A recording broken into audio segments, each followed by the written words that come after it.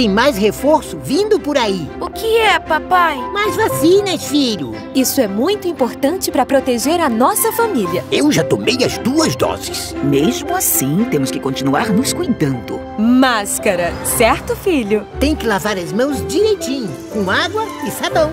E nada de ficar muito juntinho. Assim, você cuida da sua família, da sua renda e do Brasil. Brasil unido por uma pátria vacinada.